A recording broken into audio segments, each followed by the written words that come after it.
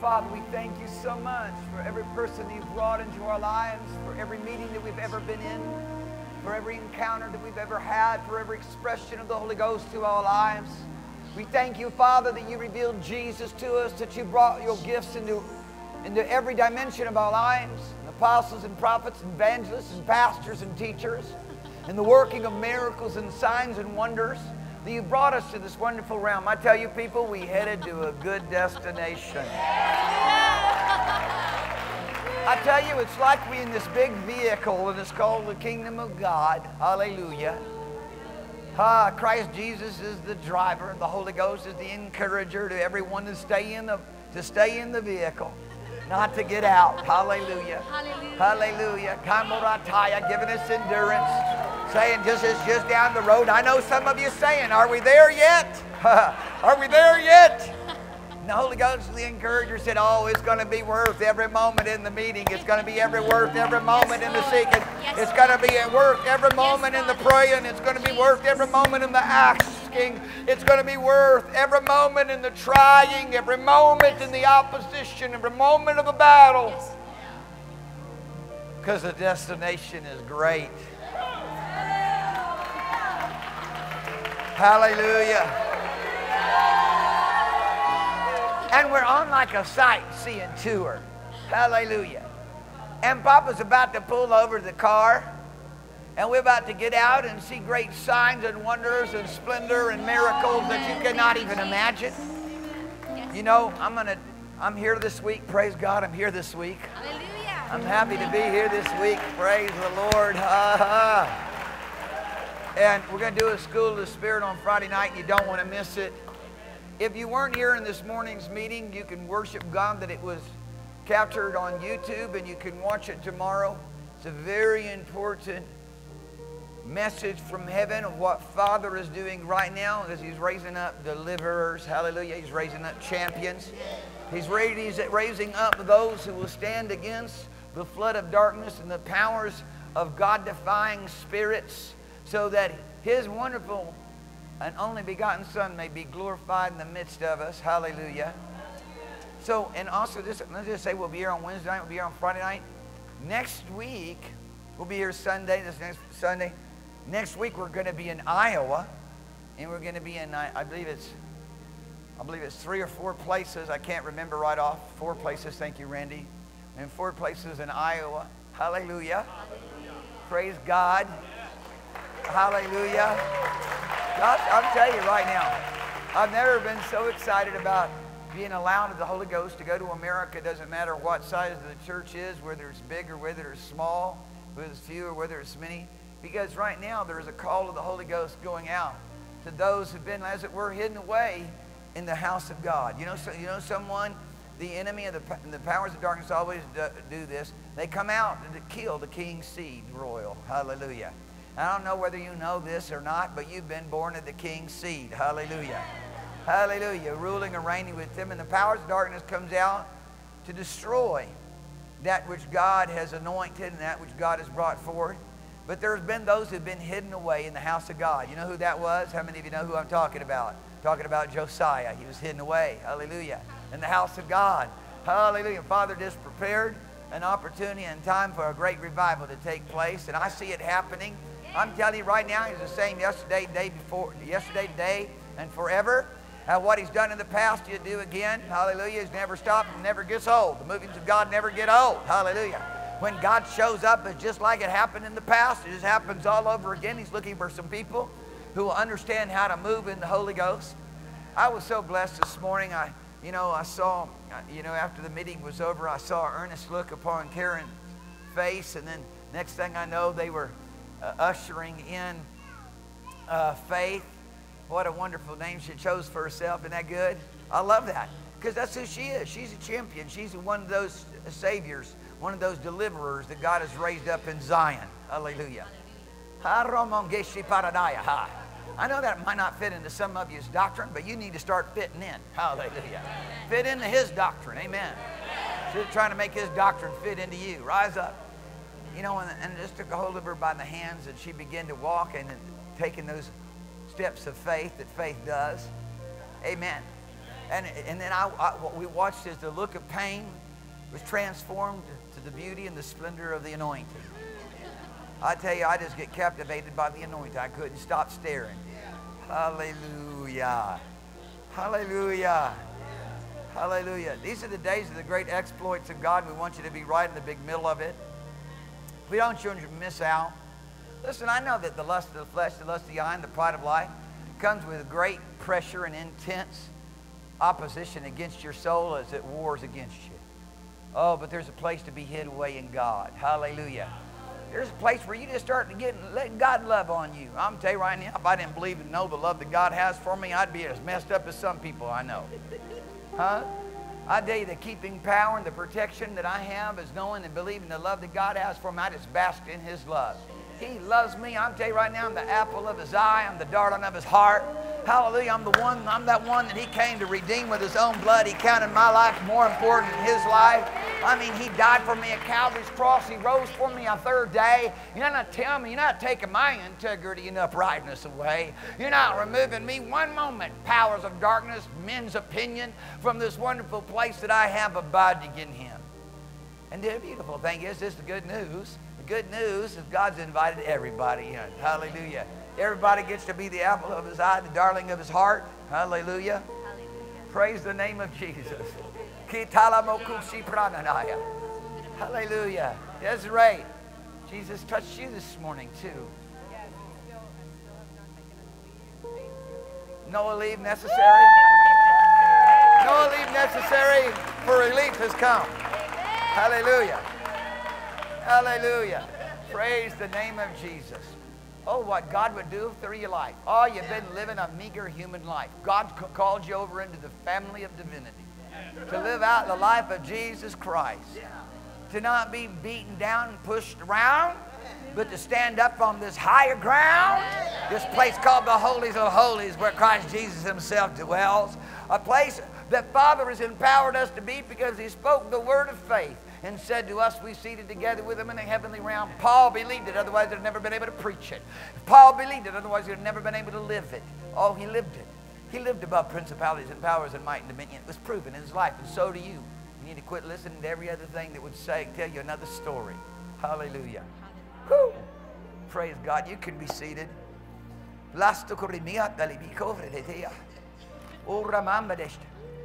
Hallelujah. I'm so blessed to be on God's team. Hallelujah. I'm so blessed that you're here together with us on this team. We're fighting a good fight of faith.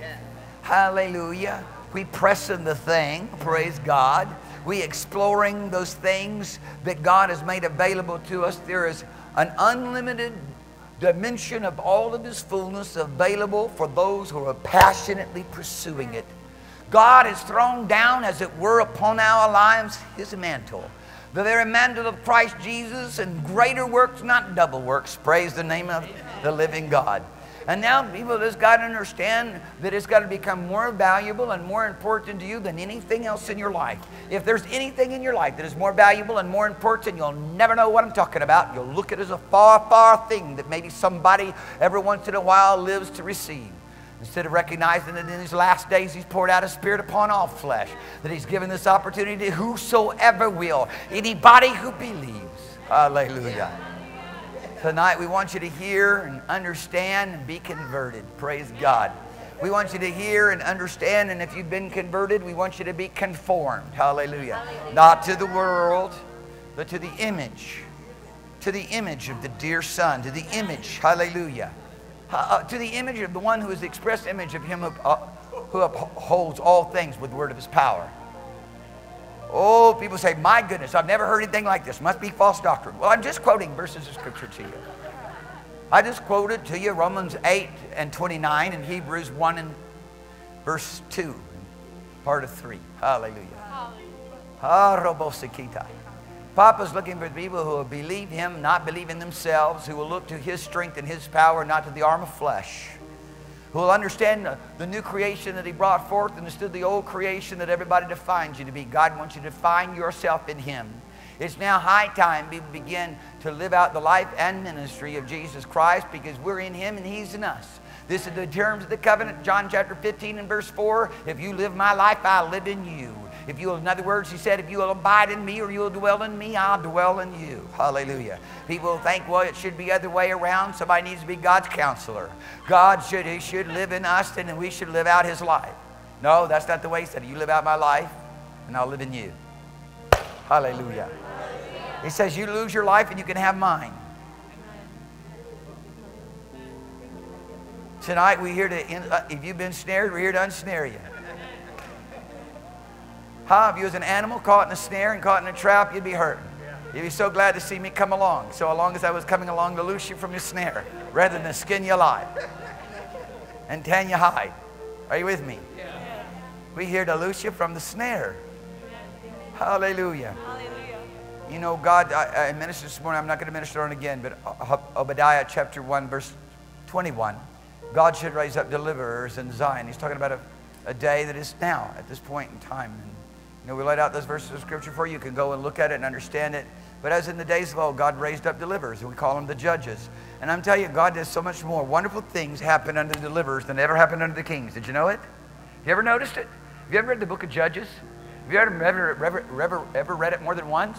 You ever read it more than a hundred times? I tell you, to start sinking in. You read the first and second Kings, and you start getting depressed. And then you read first and second Chronicles, and you even become more depressed than Kings. My goodness, the power of God that was made available to them. One man serves God, two serves the devil. Then another one raises up, serves God. Huh? Oh, but when God raised up deliverers, when God raised up judges, hallelujah, when God raised up saviors among his people. And Father wants to raise up not just a few as in the past, not just one here and there, an Alexander Dowie, Smith Wigglesworth, not just one or two, just a few here and there, a Mariah Woodworth Etter, an Aimee Semple McPherson, a Kathryn Kuhlman. But he wants to raise up a great army doing great exploits. Hallelujah. Hallelujah. The problem is that the Father's always wanted to do it. There's just only been a few people that have been willing to go all the way with them. Everybody wants to hang on to their own life and mitigate their circumstance and have a little religion. A little hallelujah, a little shout, a little prayer meeting, a little thinking about God every once in a while. The Father wants us to get totally consumed with the fire of His presence. Whew, caught away with being trained by Him. Papa's come to train us. He's a great trainer. Holy Ghost is a trainer. Hallelujah. He's teaching us something. He's teaching us how to do more than just train for the Olympics and, you know, have some great human feat of conquest. He's come here to train us how to conduct ourselves in all the ways and dispositions and manner of our Father, who is sovereign God Almighty, our elder brother, who's King of Kings and Lord of Lords. Hallelujah.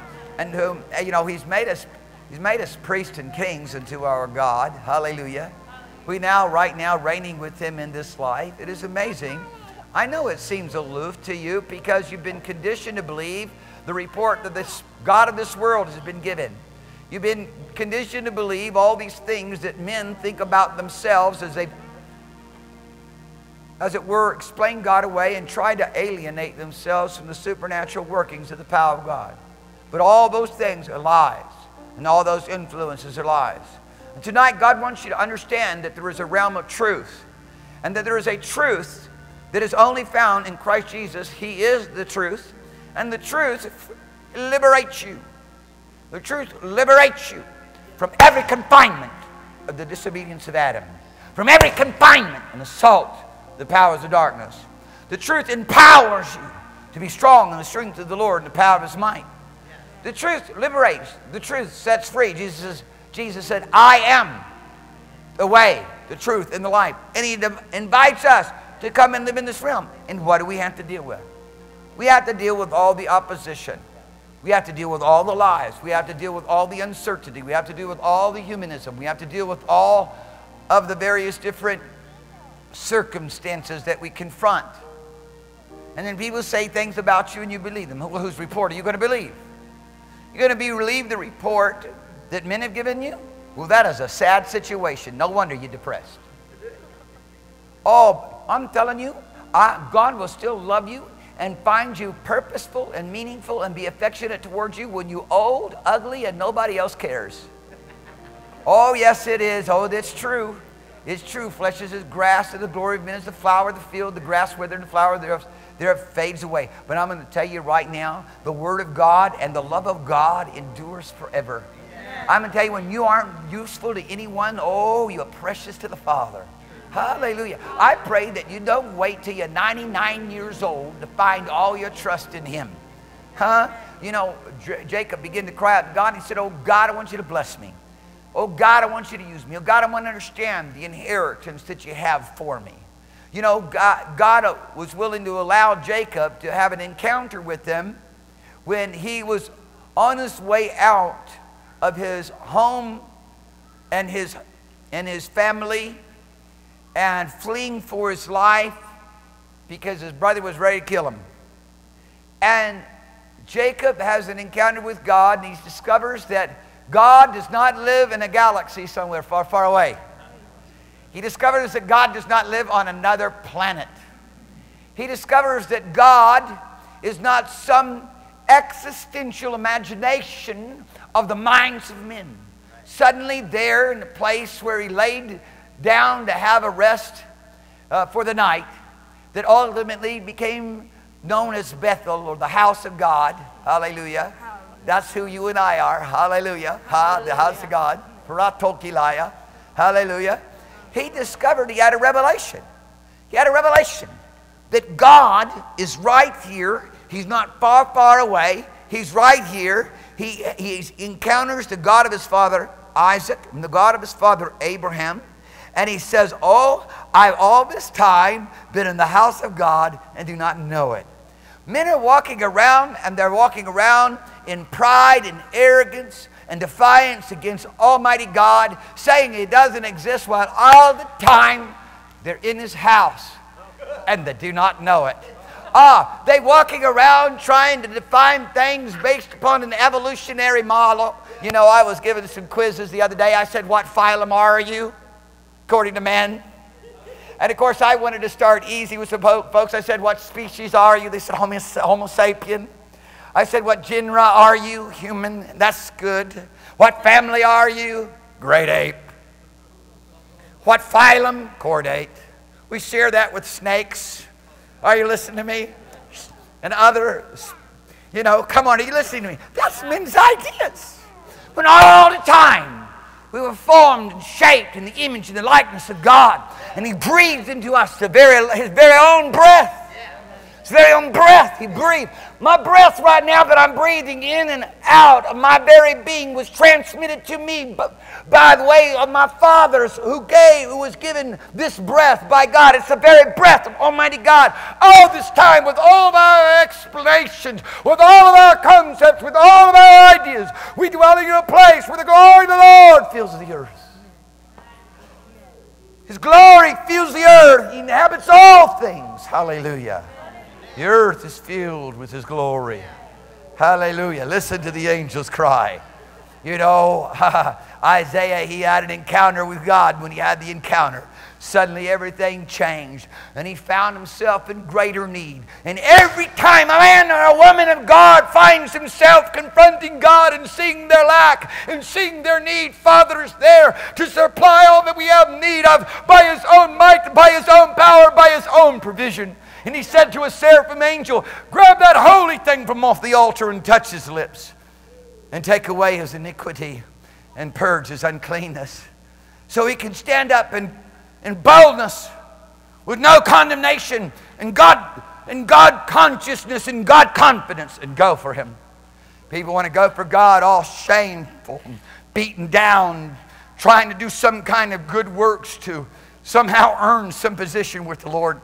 God wants to baptize you in the Holy Ghost and fire. I'm telling you, people are getting sorted out all the time. People get sorted out with offenses. People get sorted out with pride. Pride issues are terrible issues. It's an epidemic. It's a disease worse than cancer. It's polluting the minds of men in the church everywhere. The pride of life is subtle, it sneaks in there, and you defy the opportunities that God has given you because you don't see them. Your eyes are blinded and you can't see. But God has given you the ability, and He says to you that cannot see, see.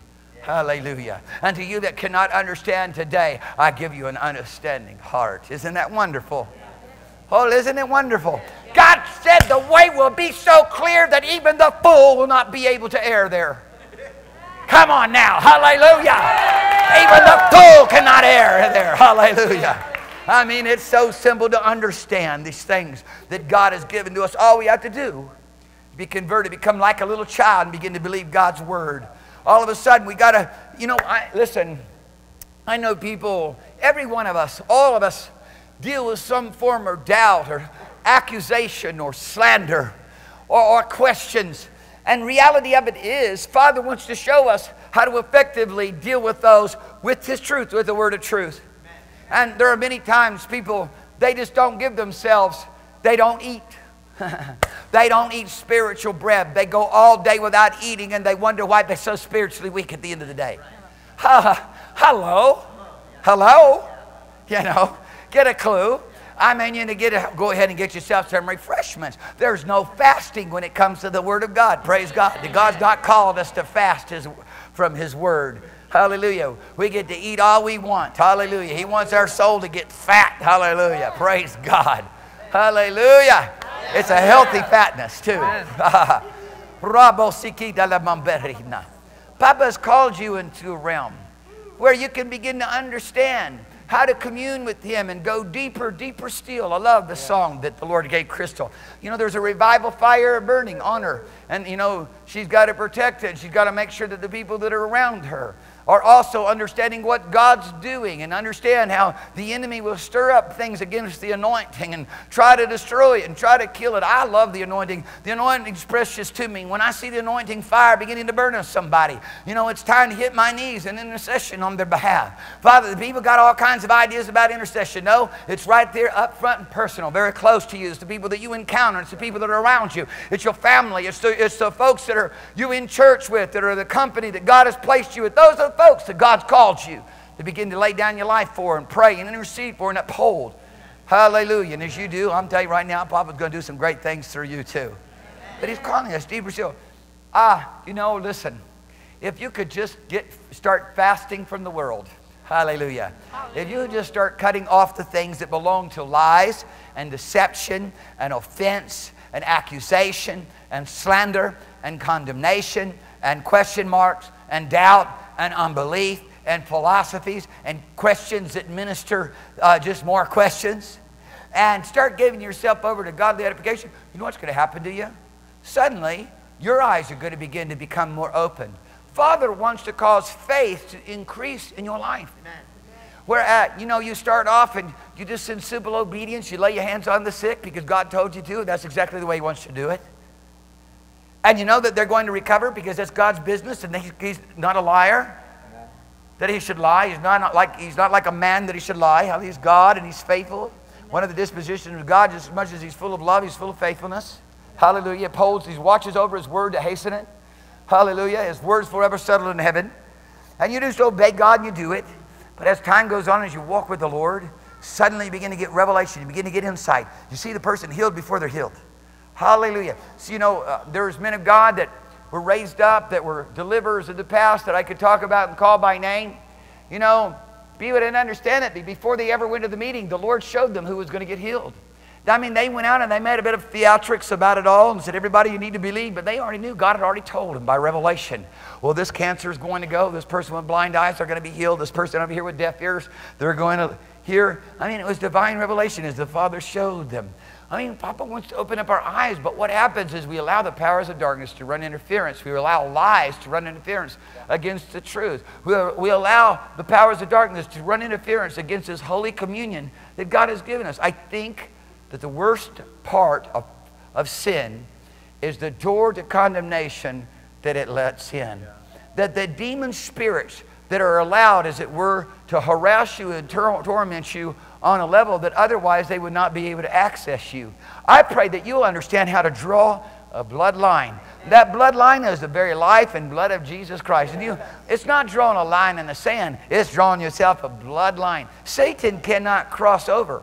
Oh, you could cross over and go into the realm in which he exists and there be tormented. But I'm going to tell you right now, praise God, you can run back right over into this realm.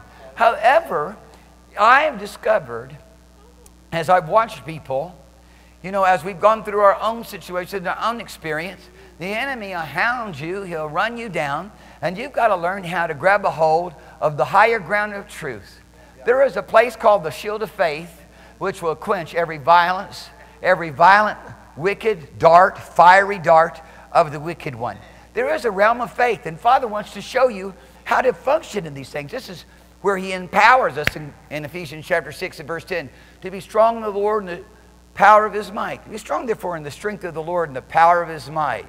Take unto yourself the whole armor of God. There is an empowerment, people, that a communion and a fellowship with Christ Jesus that you give yourself and you consecrate yourself to brings you into to where that the truth is there to overthrow every lie that comes out to steal from you the things that God has given to you. Father has given to you this so great a salvation. Father has given to you this wonderful privilege of living in Him. Hallelujah. Commands us to dwell in Him. What a tough commandment.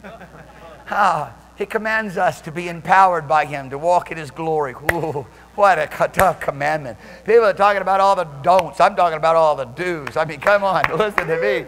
The do's far outweigh the don'ts, believe me. I mean, it's like do commune with God and don't commune with the devil. I mean, come on. Do live forever and do and don't die. I mean, come on. This is beautiful stuff.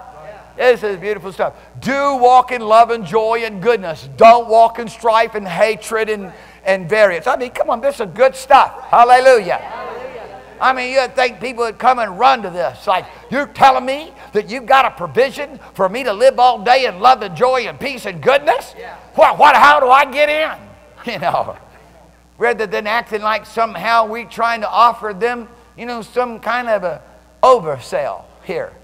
You know, some kind of a cheap commodity for more than it's worth. Give me a break, people. Father has invited you and me to come and learn. He teaches how to do signs and wonders and miracles. He teaches how to see heavenly things. He teaches us how to function and move in the realms of divine power and glory, where the anointing comes upon us, uh, and we always have it there. Amen. Somebody said, Was the anointing come on us to remain? Or is it as in the days of old, the anointing come on us and lift off? Well, it looks like to me most of you had a lift off. and I want you to get out of that uh, experience of having some kind of a lift off. And amen. Hallelujah. Have the anointing come on you. Praise God and remain. Praise God. Ah, you know, I hear people arguing about it. One theologian, one preacher saying the anointing came on us and lifts off. And another preacher's arguing, no, the anointing comes on us and remain. And neither one of them have had any anointing. So all they've got is a theoretical idea of something that brings them to a place of strife and argument. Oh, Masaya la Potora, ha. Hallelujah. Hallelujah. I'd like to take every one of you tonight by the hands as I did faith this morning and walk you around. Walk you out of your pain, walk you out of your problem, walk you out of the trouble, walk you out of your perplexed looks into a divine look of splendor and glory. Hallelujah. Hallelujah. Women go to a, beautician and get a makeover. I'll tell you right now, I got something for you. We got a makeover for you tonight. My goodness who your face begins to shine with the glory of his presence. I was looking at, I was looking at face, face as begin to shine with the glory of his presence. It takes on a luster and a splendor that only communion with God the Holy Ghost. You and I were created by God as those who have a full endowment to receive, to be uh, those who are uh, receptors and, and, and those who function and flow and operate in every dimension of His glory and of His presence. I mean, fish were made to swim and birds were made to fly, and you and I were made to praise and give thanks. You and I were made to walk around. We were made, hallelujah, to walk around in His divine power and glory. Listen to me. I pray that I, listen, I pray tonight that I'm preaching to the choir. I pray tonight that every one of you have laid hold on these things. And if you do, and if you'll just take a hold of what I'm saying, you're going to begin to experience an abundant life that doesn't grow, that doesn't grow old, that doesn't wear out, that doesn't get dim. It gets brighter and brighter every day. It gets bright. I'm calling you to get out of the lie and get into the truth. I'm calling you to get out of the death and get into the life. I'm Amen. calling you to get out of the offense and get into the laying down of your life. Yes. Somebody says, oh, well, you know, uh, my, you know, I, I don't feel like I have to fellowship with those people anymore because they offended me. They insulted me. They just didn't appreciate me. You know, I'm only go around people that uh, celebrate me. Dear people, You've been reading the wrong Bible. Ha! The Lord's called you and I to lay down our life for the brethren. Hallelujah. And you don't get a chance to do that till somebody offends you, insults you, rejects you, belittles you, or does something that, you know, you feel like has, has wronged you. And you know, people just run, they just cut and run all the time when God the Holy Ghost was to, to, showing us how to be conformed to the image of the Son.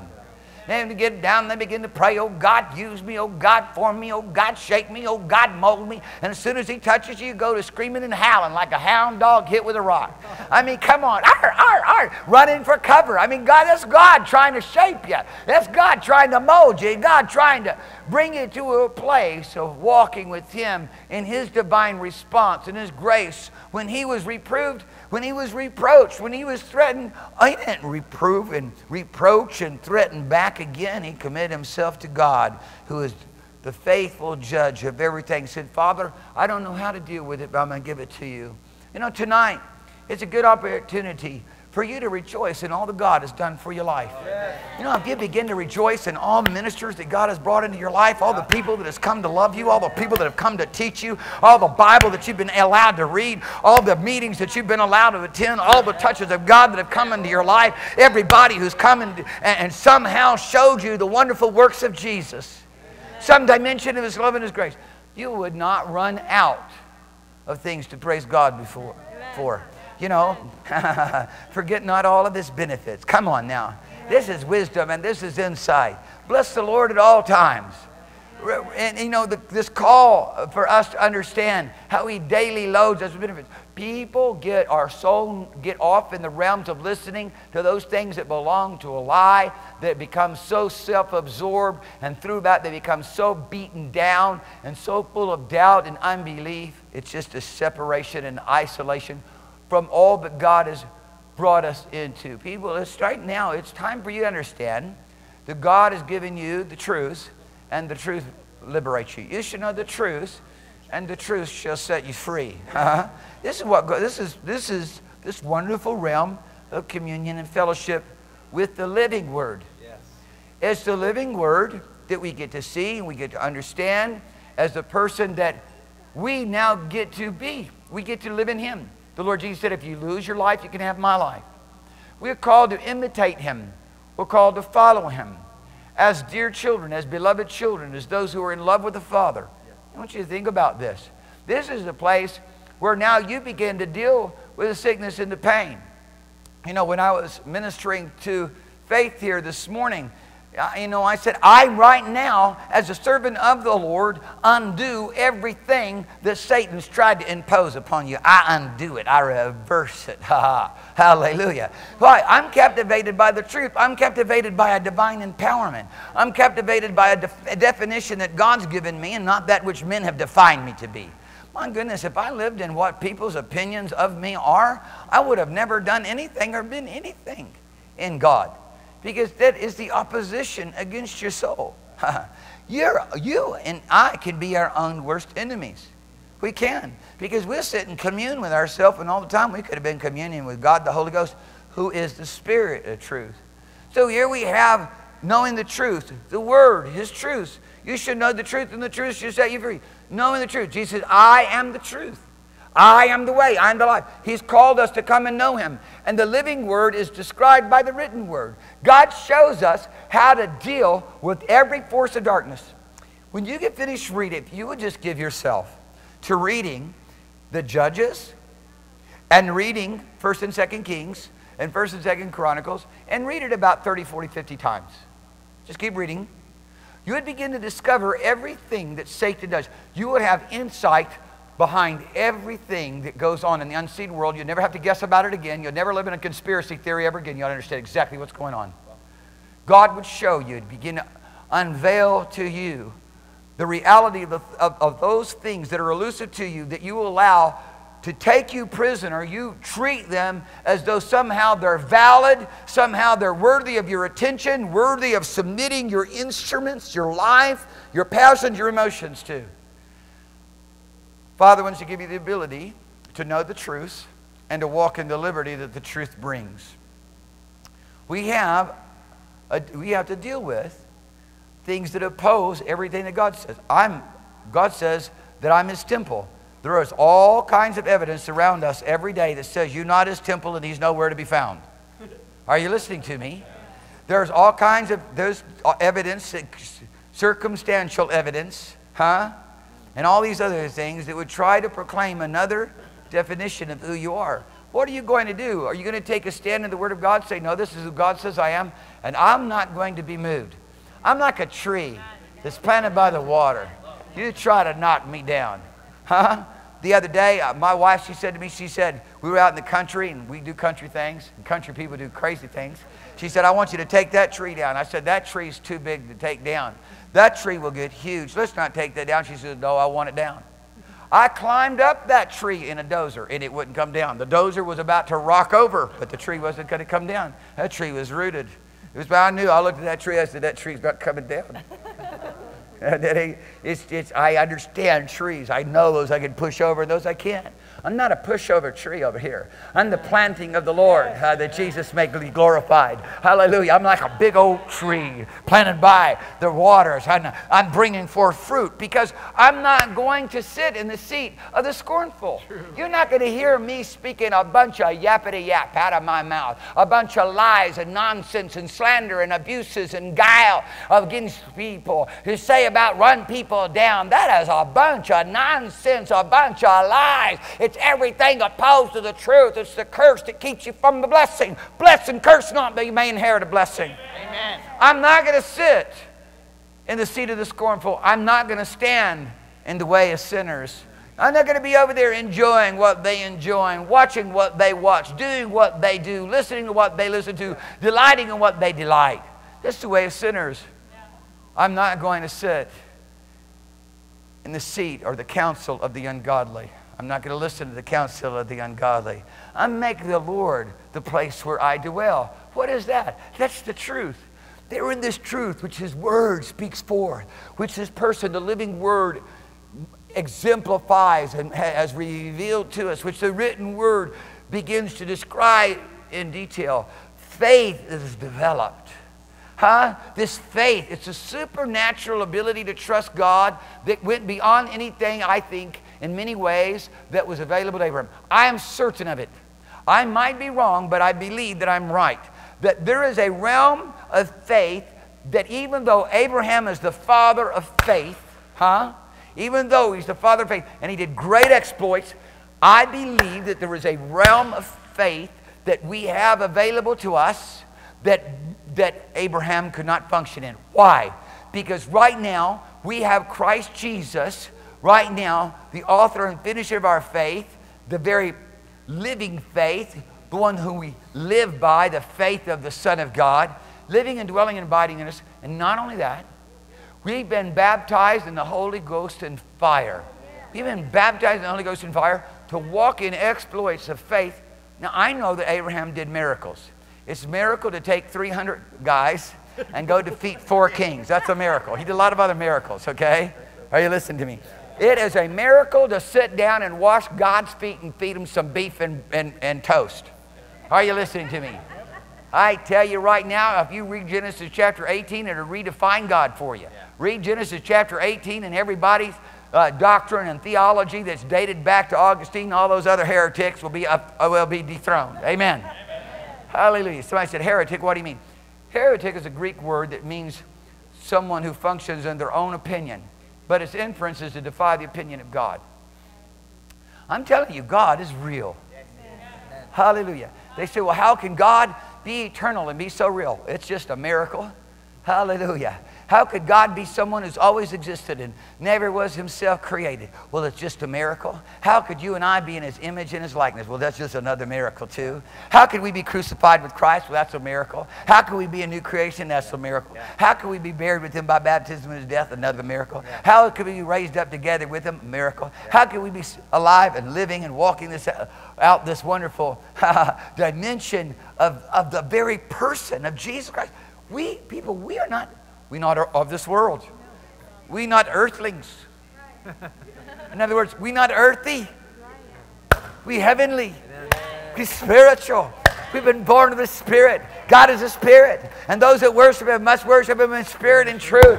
Who God, who we know, uh, Paul said, they that are in the flesh cannot please God. Listen to that. Pretty radical, isn't it? They that are in the flesh cannot please God. But you're not in the flesh, but in the spirit. Um, we are heavenly people in the heavenly realm to now be being trained in the realms of truth. And truth is the defense against every lie. And you deal with them all the time. And you allow them to run wide open, some of you, in your mind. You allow them to make your decisions and, and produce within your life choices that are wrong choices. You allow lies to be, to be the definition of the way you process what you think and, and what you believe. It's time that you understand how to be girded about with truth. Girded about Hallelujah. Hallelujah.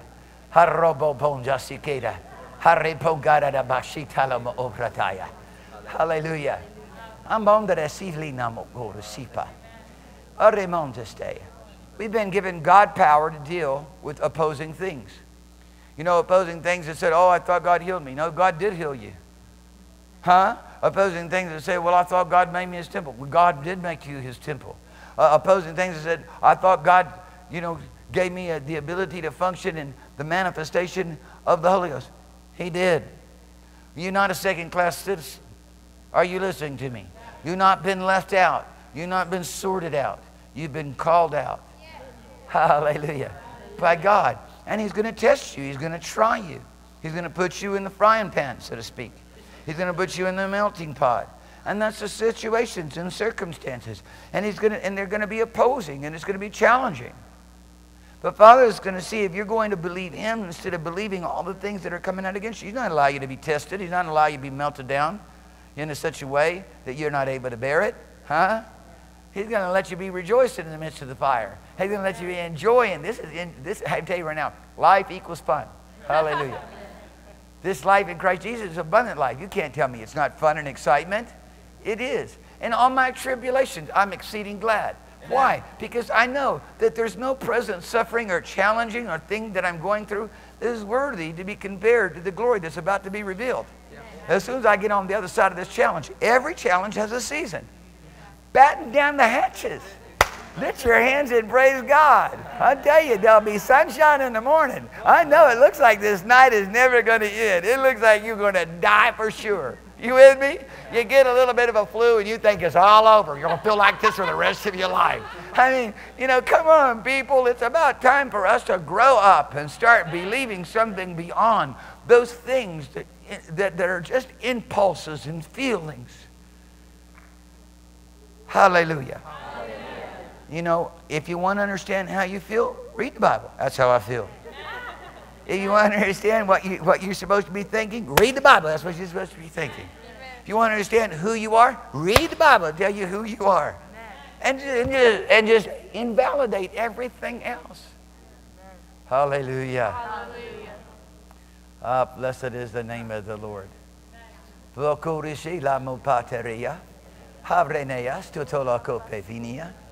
Hallelujah. You know, when the Lord called you, out, you know, and you, you know that, that God found you, that you didn't find him. I understand that? Yeah. How many of you understand tonight that you are a present presented to Jesus Christ by God the Father? You are present.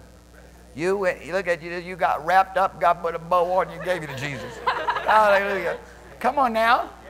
And that He's not surprised with your faults and failings, with your weakness and your immaturity. He's not surprised one bit. Right? He knew exactly what he was getting himself into when he called you out. and he chose you. Now, there is, a, there is an expedited pathway to success. Are you with me? Yeah. There's a two month journey, as it were. Actually, two day journey, as it were, into your inheritance, or you can wander around for 40 years. Which one? A or B? Option A or B. Which one do you want? Peter's got to decide. And, and, and reality of it is, is it all comes down to this one simple thing. Are you going to believe the truth or are you going to believe the lie? Are you going to believe what God said in His Word or are you going to believe what circumstances dictates to you? Are you going to believe what the Holy Ghost is encouraging you and saying to you that you can do? Are you going to believe the limitations and the definitions that people want to confine you in? You have to decide. Are you going today to say, you know what? I'm going to go ahead and not only live the life of Jesus, I'm going to function in his ministry. I'm going to walk out of this place tonight and I'm going to put on the Lord Jesus Christ and act just like him. Amen. Hallelujah. Hallelujah. I'm going to put on the Lord Jesus Christ and make, make no provision for the human realm. Come on now, listen to me. Come on now, listen to me. Come on now, I can get your little scriptures out. Get you just listen to me. Hallelujah. Put on the Lord Jesus Christ. Hallelujah. And make no provision for the flesh to fulfill its desires. And I'm telling you, its desires about all your selfish interests and all the people you want to come feel sorry for you and pat with you and the things you need more. You need more of this and more of that. so long as you need more of this and more of that, I'm telling you right now, you can't have more of Him. You got to decide where your prize is and where your treasures is. Amen. Huh? Hallelujah. Hallelujah. That's why the Lord said, don't let the, don't let the inhabitants of the Lord say, I'm sick. Amen. How could the inhabitants of the Lord be sick? How could God dwell in us and we be sick? I was sharing this morning, I was in Norway, and I was praying for a dear woman, dear, dear woman. Uh, her husband was a pastor, her father a pastor, her grandfather a pastor, her uncles pastors. I think her brothers were pastors. I mean, she had a whole army of pastors backing her up. And she come and she wants to be prayed for. And in the meeting we were at in Norway, and uh, she told me about two of her diseases, okay? Two sicknesses that she had. And uh, so I began to pray for her, and she lifted her hands towards heaven. And suddenly, after lifting her hands towards heaven, she remembered that she couldn't lift her hand towards heaven because she'd been in an accident and broke two ribs, and it was too painful to move her arm. She forgot all about it in the presence of God. I mean, she was instantly and totally healed. She was shocked out of her mind. I said, well, the same God that healed your ribs is the one that healed these other things that you're talking about. I think it was kidneys, something else. I can't remember what it was. I wasn't paying too much attention to the diseases. I was, I had my mind affection on the cure. I just like thinking about the cure. I mean, go ahead and tell me what your problem is. But while you're talking, I'm just thinking about the cure. I'm just captivated by the author and finisher of our faith. Hallelujah. Just lift your hand towards heaven and shout right now. Hallelujah. Yeah. The next time you feel like smacking somebody, bless them instead. You know, come on, we're having to deal with this thing. We're having to deal with this thing. Not just as two year olds, but as 20 and 40 and 60 year olds. We're having to deal with this, this impulse to slap somebody. I know, but God doesn't want it. He wants us to bless them. They got to stop that stuff in Jesus' name. I mean, go to kissing. Amen. Woo, hallelujah. Come on, Taya. We have to be willing to understand that God is showing us how to yield our members as instruments, weapons of righteousness unto holiness. There's a fruit that God wants to bring forth, a precious fruit from the earth. Your hallelujah. That is his habitation. It's a new earth wherein God dwells. Hallelujah. Hallelujah. Just to begin to understand that reality of it is every day you create your universe. Think about it. You're creating your own universe, the universe that you want to live in. Uh, do, does anybody else want to live in that? huh. And God has privileged us with the ability to agree with Him to live in the universe that He's created. Yeah. Hallelujah. Joy unspeakable, full of glory, peace that passes understanding, love that goes beyond all knowledge. You know, how simple is it to get into the fullness of God? All of His fullness. You say, all of His fullness. Wait a minute. Hold up. How's that possible? No, the Lord says that with all saints you may understand what is the height, the breadth, the length, the depth. To know the love of Christ which passes knowledge, that you may be, or thereby through that knowledge, filled with all the fullness of God. How simple. I mean, goodness. This is goodness. This is goodness. Father says the way into all my fullness is knowing my love, knowing the love of Christ. Not just any love. If he didn't define it, we might think it's all these other models of love and ideas of love that are brought forth through human expression and experience. No. The love of Christ, where God risked everything, risked all the universe that He created to redeem men, where He sent His Word, He became flesh to be tested and tempted and tried and always just as we are. Not a dry run, a risky one. Not a dry run, a risky one. One that could have ultimately ended in Satan being able to defeat him and him bowing to the God of this world. When he said, If you be the Son of God, turn the stone into bread. Prove yourself. And all the other temptations that he had to go through.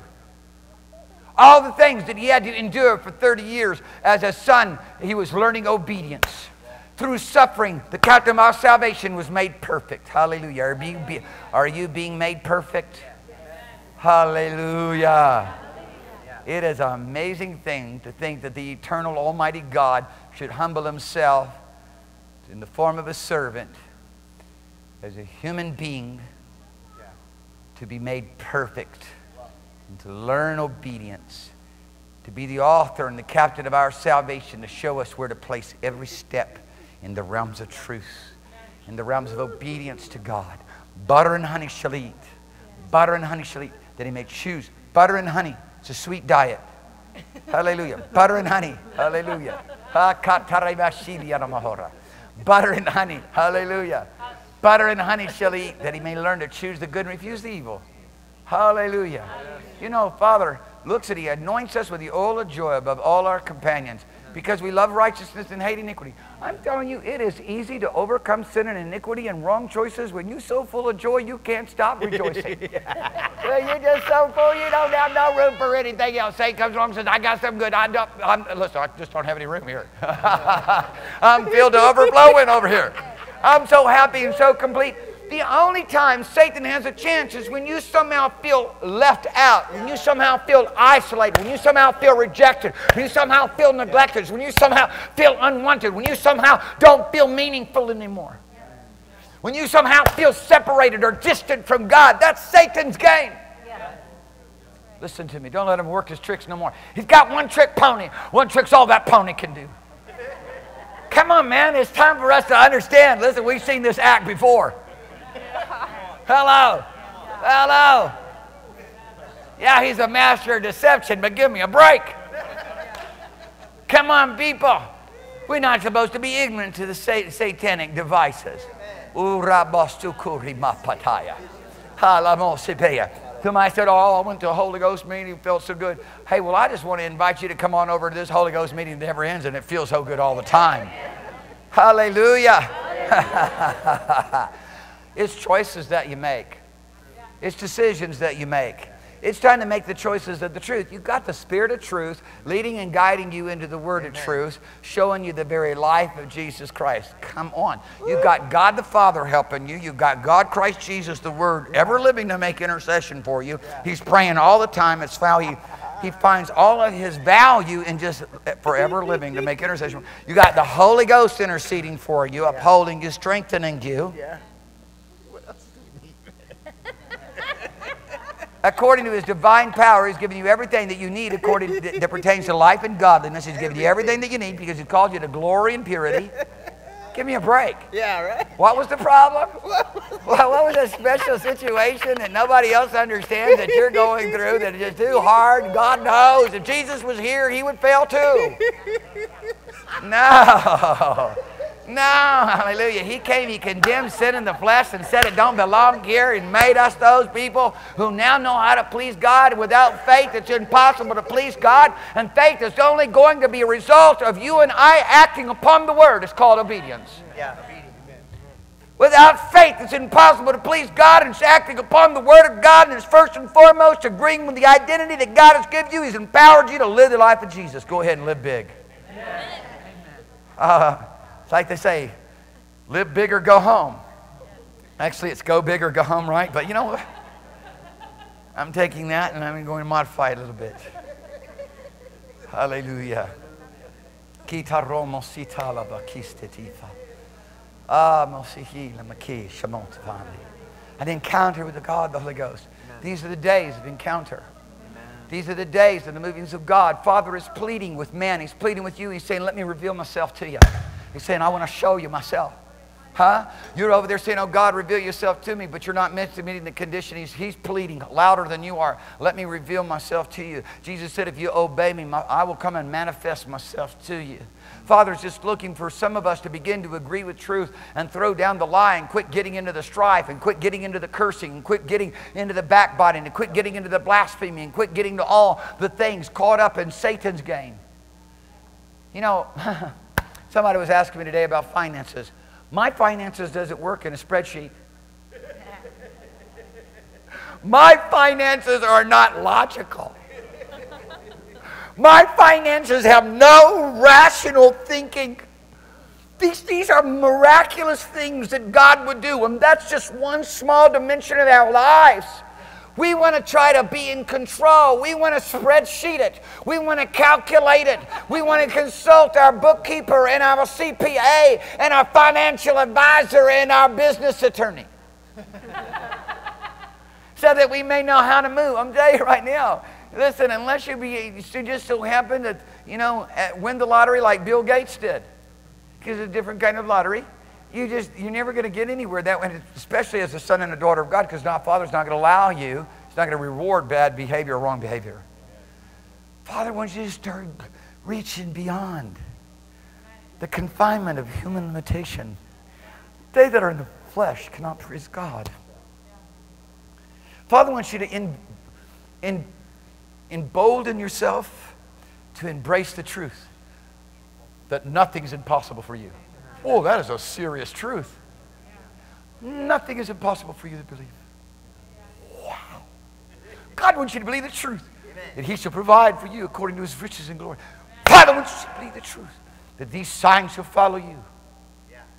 That He, that in His name you'll cast out devils. Lay hands on the sick, they'll recover. Speak with new tongues. Take up serpent, drink any deadly thing shall not harm you. Lay hands on the sick, and they shall recover. God wants you to believe. He wants you to embrace the truth. That if you'll embrace, embrace the truth, because embracing the truth is just, it's when we say to believe, all it is is to say, I'm embracing the truth. I embrace what God said about me. I embrace what God has given to me. Anybody who embraces the truth, these works shall you do, and greater works than these. Why? Because it's all about glorifying the Father. It's knowing that it's the Father that does the works in me. Well, hear, hear me. See, it's a relationship that precedes the great exploits of faith. Yeah, there in John 14. Verse 10 and verse 11 precedes verse 12. And Jesus saying, It's Father that's doing this work. It's not my word, it's His word. Believe me, from, if you don't believe the word, believe the work's sake. It's the Father that does the works. And anyone who believes will do these works and greater works, the same works, because His Father will be in you. It'll be Father doing it in you. What if you don't believe Father's in you? What if you believe you're all alone, isolated, hoping that God will love you? Jesus loves everyone but me, me, me. I mean, come on, you know, everybody has to go through this thing. I mean, uh, you know, anybody can do miracles and signs and wonders, but somehow I'm left out. I can preach it, but not believe it. I can preach it and believe it for someone else, but not believe it for myself. Tonight, we want you to be endued with Jesus Christ. Amen. Tonight, we want you to put on the new creation. Amen. We want you to put on the new man, which created in righteousness and true holiness. We want you to be endued with power from on high. We want you to be baptized in the glory cloud of heaven. Hallelujah. What is it? Is Isaiah 4 6? Where is it? What is it? Is that what it is? Anybody got the word of knowledge on that? Let me go look. Anybody know the scripture that I want to say right now? Hallelujah. That's the best way to practice word of knowledge, you know? Hallelujah. These are the days where upon every dwelling the fire cloud of God is being seen. Is that Isaiah chapter 4, verse 6? Where is that? Let's turn over there and look at that. Just, just hit me. Mozande eroboshe animikita. Papa wants to see, cause you to see with a new kind of vision.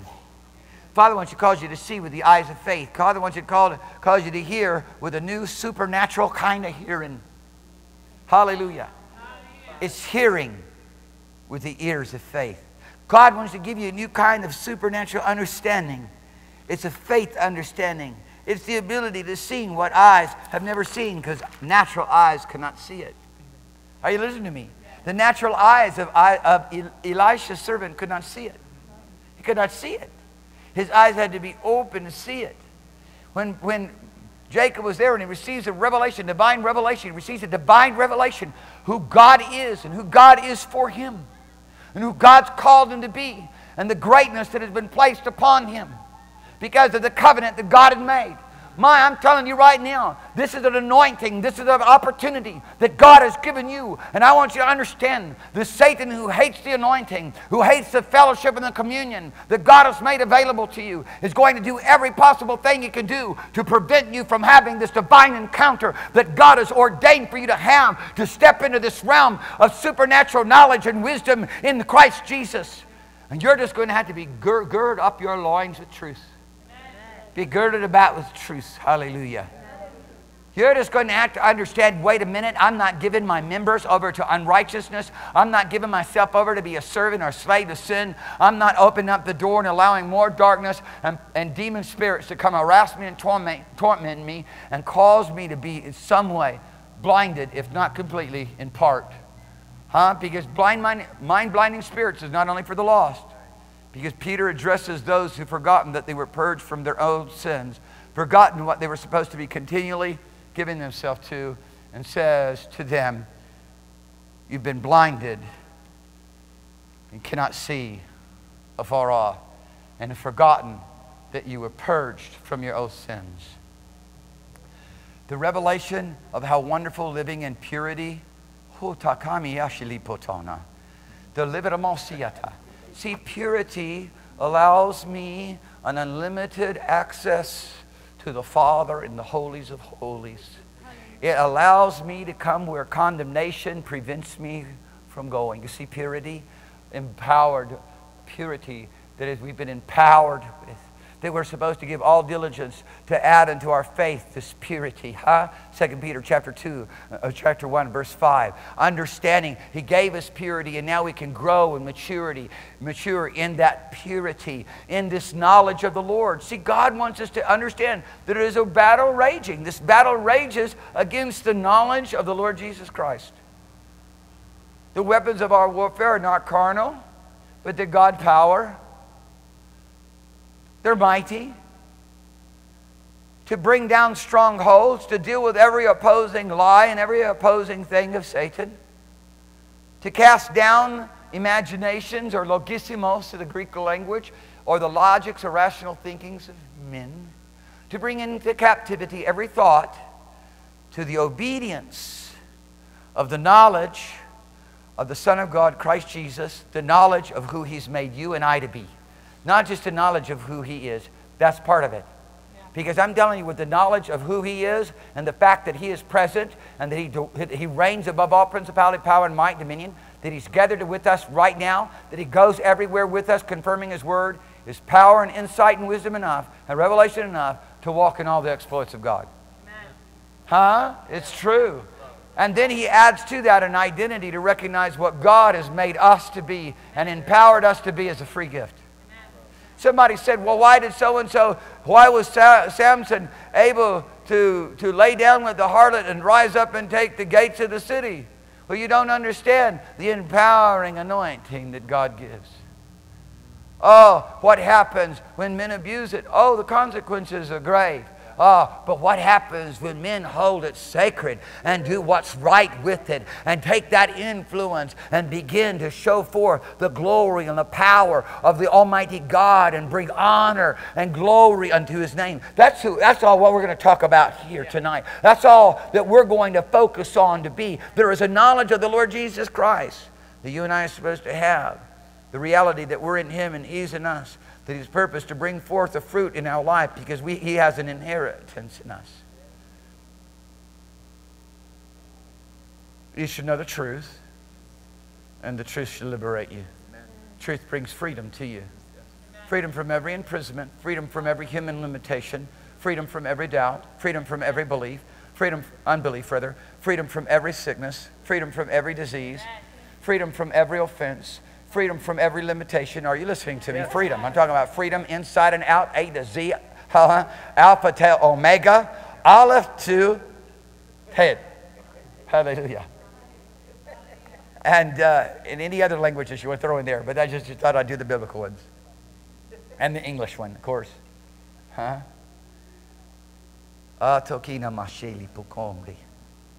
This is the fight. This is the good fight of faith. This is the battlefront. The truth against the lie, the life against the death, the Spirit of the Lord against the antichrist spirits of this world that hate the anointing, that fight against the anointing, that come out to persecute the anointing, that try to destroy the baby before it can mature and become strong enough to overthrow its kingdom. Oh, the church was born long ago and it's mighty. It's precious. Oh, get yourself, get your whole identity into the realms of the church. The glorious church that Jesus purchased with his own body. The pillar and foundation of truth. Is it Isaiah 4 6? Am I right? Isaiah 4 5? Yeah. Oh, beautiful. It's close. Hallelujah. I'm just going to back up here. Hallelujah. Right now I'm in Zion. Right now I'm in the heavenly New Jerusalem, the city of the Lord God, the mother of us all. Praise God. Right now, before an innumerable company of angels. Hallelujah. Right now, standing before God, the judge of all. Hallelujah. In Christ Jesus, the mediator of the new covenant. I'm not waiting for a day. The day is here. The day has come. I'm living in heaven right now. Jesus, hallelujah, is heaven. Hallelujah. Heaven is Jesus and Jesus is mine. Say, heaven is Jesus. Heaven is Jesus. And Jesus is mine. Jesus is mine. I'm living in heaven today. I'm living in heaven today. That's a song written by a Presbyterian preacher. Hallelujah. 1880s, Presbyterian preacher A.B. Simpson, founder of the Christian Missionary Alliance Church, nothing like what he intended it to be today. Huh? It was, he, was, he was touched by the fire of God. It's time for you and I to be touched with the fire of God. Listen, I'm telling you right now, I'm living right now in things that history books are written about. We were sitting there, I was prophesying for a few days to, to the emperor of the Congo. He was there to, to, to, to see his nation touched by the fire of God. We living in days and times and participating with things that history books are written about. And God, come on, people. You weren't left out. Step up. You aren't left out. Left out. Step up. Come on. It's beginning just to start right where you're at. Man, I'm so blessed. Most of you getting ready to go to uh, to mission camp. Huh? The whole Shaken Nations camp. Hallelujah. I pray in the name of Jesus Christ that while you there, such a nation, nations are born in your spirit, nations are born in your heart. You understand how to go and take them by faith because you don't, under, you don't count on anything that belongs to the human realm. Those who are in the flesh, who rely upon the natural existence of human existence, cannot please God. Hallelujah. But you're not in the flesh. Hallelujah. Think about it. Think about it. Think about it. Because one of the doctrines that people are imprisoned by is you in the flesh. Well, I'm going to go with God saying, You're not in the flesh. Yeah. Hallelujah. Somebody says, well, What do you mean I'm not in the flesh? I'm not bound to, to, to a realm of trusting in human ability. I'm in the Spirit. I'm in a realm now being born of the Spirit, brought into the family of God, now relying on trusting in God. I'm now walking in that place that does please God. Without faith, it's impossible to please God. Listen to me. Those that come to the Lord must believe that He exists. Say, believe that He exists. Believe that He exists. In other words, believe that He is and that He's here. Say, I believe that He is. I believe that He is. And that He's here. And that He's here. That'll begin to revolutionize your life. That'll begin to allow you to begin to, to lay hold on promises that seemed before as they were unattainable to you. That'll allow you to access realms of the Holy Ghost that somehow you felt in the past as though you were shut out and blockaded against. You know, I, have found today that it seems as there's very few people who know how to interpret tongues. Interpreting tongues is as easy as speaking them. It's as easy as speaking them. It's just the realm of faith if people blockade themselves out because here they are, doing something that the human mind could never in any way anticipate the next syllable.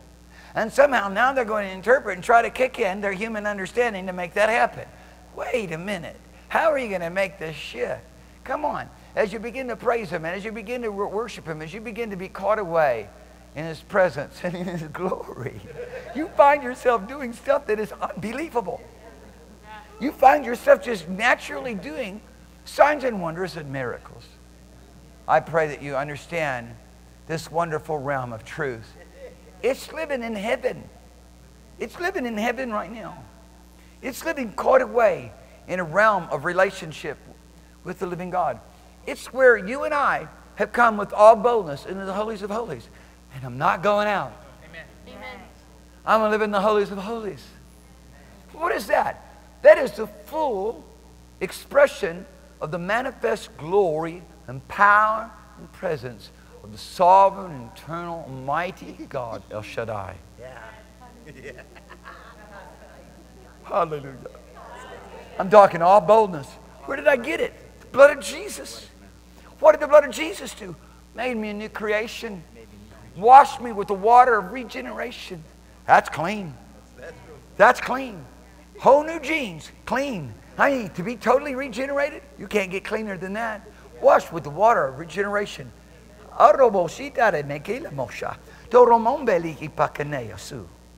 To where I know no one after the flesh anymore.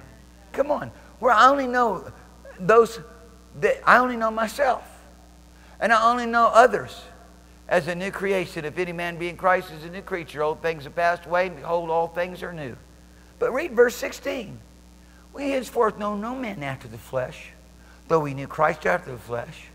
But now, if any man be in Christ Jesus, he's a new creation. Come on now. Come on now. All of a sudden, you start looking in the mirror, fault and failing. You start looking in the mirror of immaturity and the lack of understanding how to walk in the strength of the Lord and the power of His might.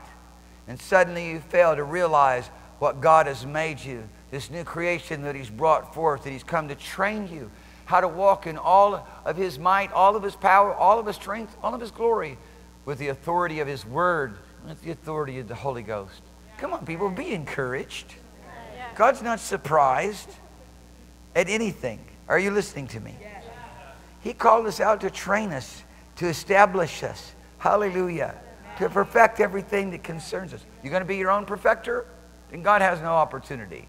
You're going to be on your own provider? Then God has no opportunity. Be your own protector? God has no opportunity. Listen, people, listen to me. Nobody in this place never, ever needs to carry a gun around. and if I know that you're carrying one, I'm going to slap you, or it's going to look like it. We don't need your pea shooter. Barney. At best, that's mankind. Barney Fife. At best. I'm going with God, people. I'm going with God. I'm going with the Almighty. I'm telling you, one blast of His, a sneeze from God destroys everything that's standing in His way. One blast of His nostrils. Amen. Hallelujah. Are you listening to me? That's a divine sneeze. Hallelujah. Ha! He slay the armies of the wicked, those who oppose us with the sword of his mouth. Oh! Tell me about what God's doing in the midst of His church. Christ Jesus stands in the midst of His church with His kingly garments upon, with His high priestly garments upon, the highest office that there exists in all the universe. His eyes are a flame of fire. Out of His mouth comes a sharp two edged sword. He looks like someone on fire in the fire, and He's standing there correcting and ministering and overseeing the things that are going on in the midst of His church. Think about it. Think about it. We want Jesus to be a little lowly lamb in Galilee. I tell you, he's not a lowly lamb in Galilee, not a little lamb anymore. The lamb was sacrificed at Calvary. Now Almighty God stands up. Hallelujah. With fire, a jealousy in his heart and in his eyes over the sacred and holy things of God that have been entrusted to you and me. Come on, people, let's rise up in the truth. Let's start believing what God said about us. Hallelujah. Hallelujah. Somebody said, I got a gun permit and it's balloting off 48 states. A couple of it's not balloted. I said, so what, man? What are you going to do with that, Barney? Give me a break. What are you going to do with that? My goodness, you've been anointed with the Most High God, by the Most High God to subdue nations, to subdue armies, to put to fight the armies of the earth. Look at Elijah. Did Elijah pack?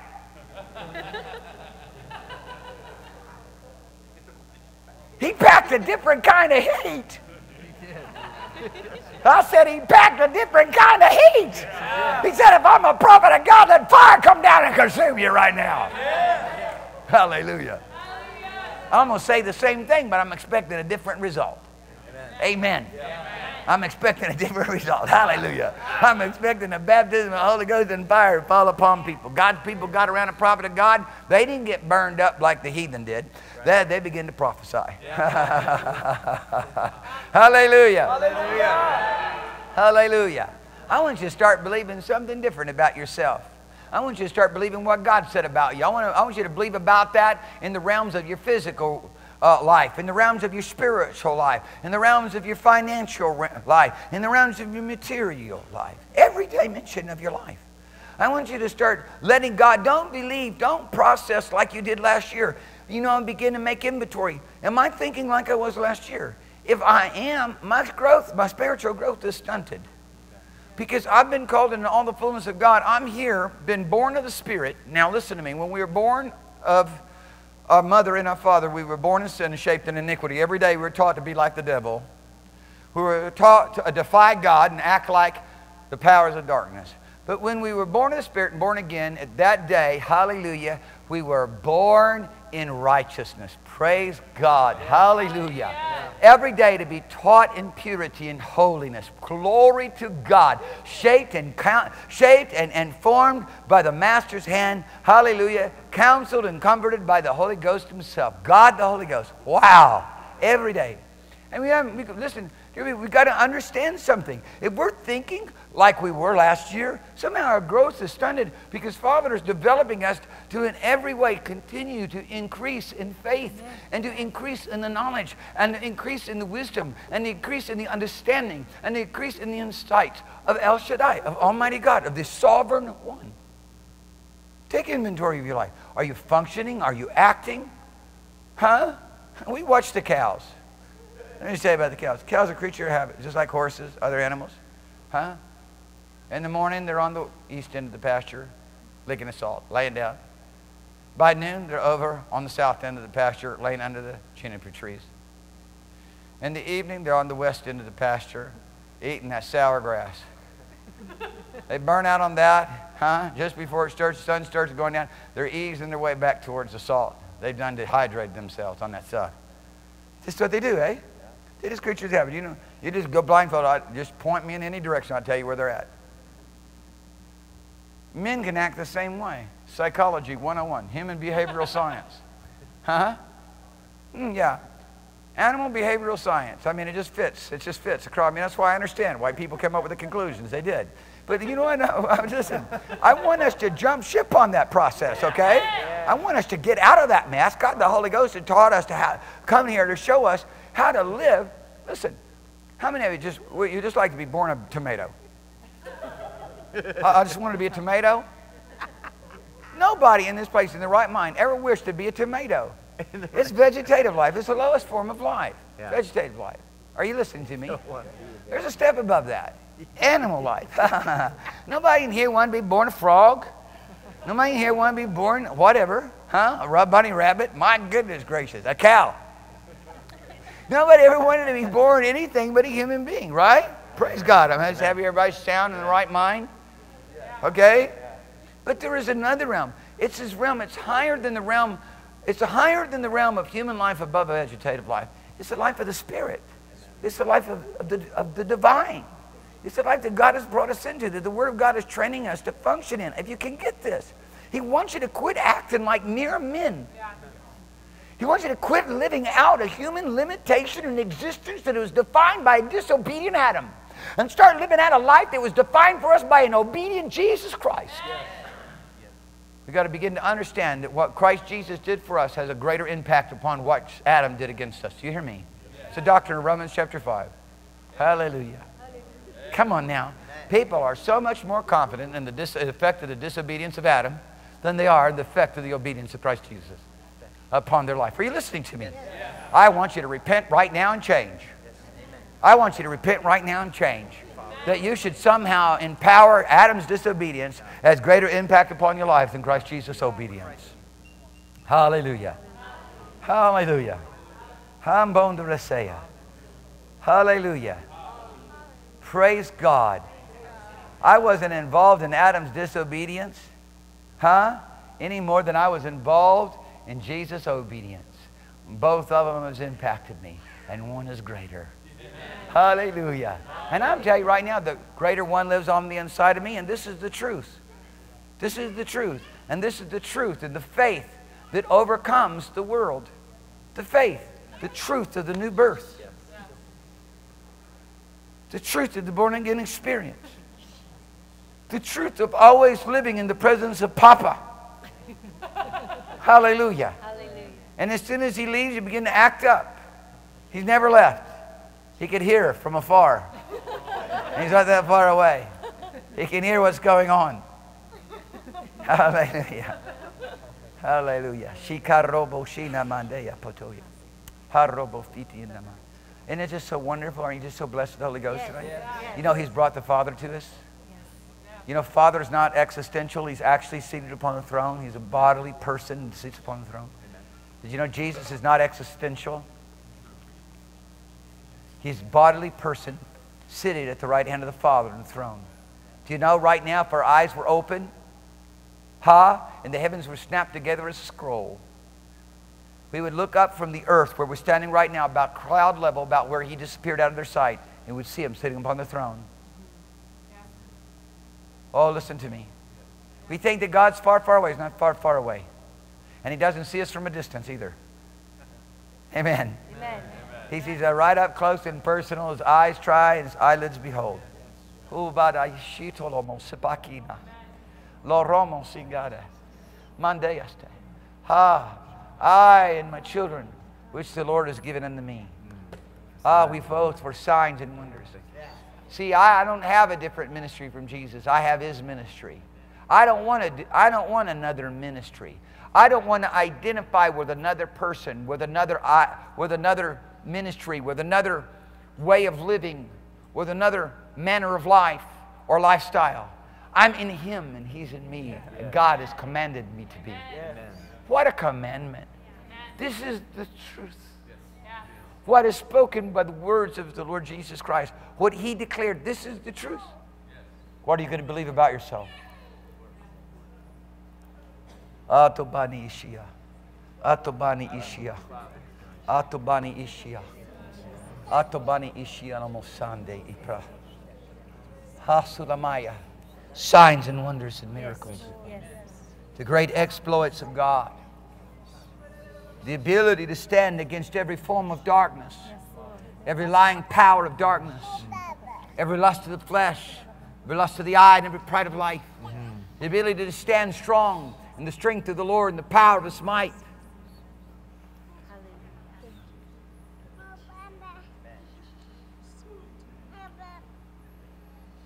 To Masita. Oh, Masita Rina. Ora Masita Rina Mekasita. Oh, Samalidesti Karamast. Oh, Sabrana Nemikila. Father, cause our hearts to be tender towards the truth.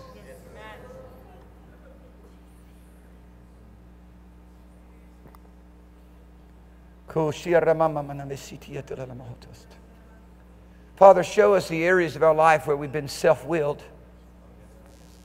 What happens when all of a sudden you resign your right to decide? That means you've conformed to the will of the Father now. You've been brought in the covenant. You on assignment from heaven. You've been blessed to be made a fi- part of the family. And the covenant right says you no longer do your will, but the will of the Father. Oh, think about it, people. What if we should design sort of we should decide tonight to live fully in Father's design for our lives. You would step over into supernatural splendor that you cannot even imagine. I promise you, there is a short path into his presence. There's a short, there's an expedited path, rather, to maturity, and there's a long, drawn out process. It all has to do with how you're going to embrace the truth.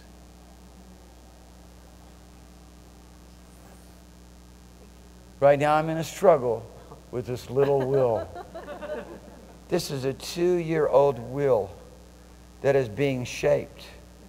And I praise God that I'm a person of faith that sees things after the manner of the Father and after the manner of the Spirit. Amen. Amen. To know that this little will is going to be submitted, is going to be brought into a place, hallelujah, yes. of that which is right. How about you? Yes. How about you and I? Yes. Father's here to make our hearts so sensitive towards Him. Amen. Father's here to make our hearts so tender towards Him.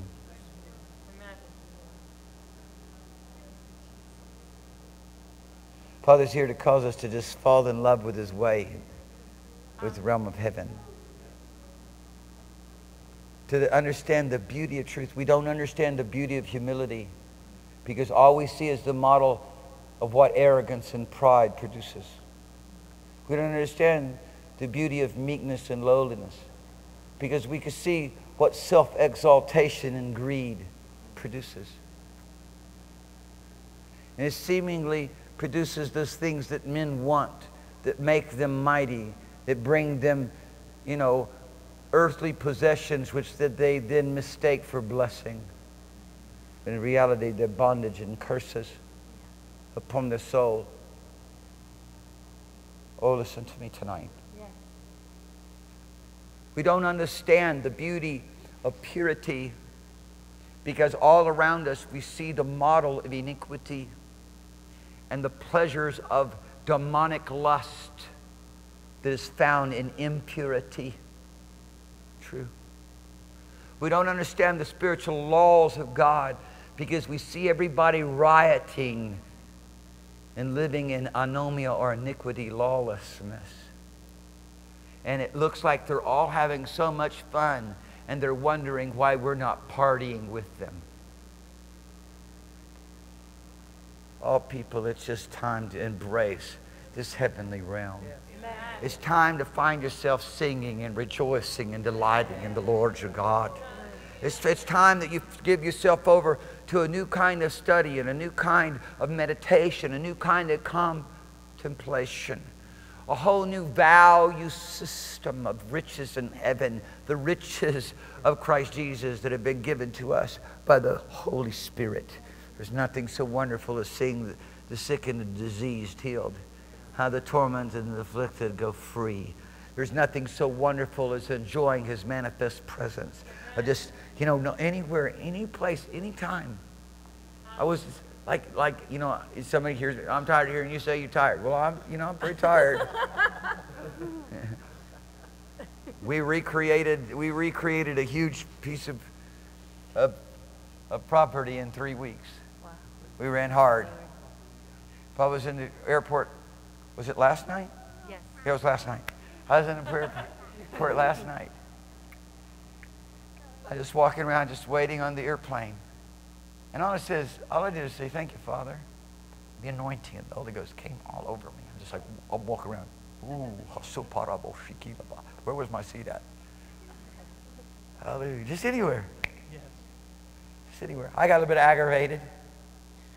Yesterday, about 11 o'clock, I had about four hours of work to do and only had about an hour and a half to get it done. And my help never had done the work before. I got frustrated for a couple of minutes then repented.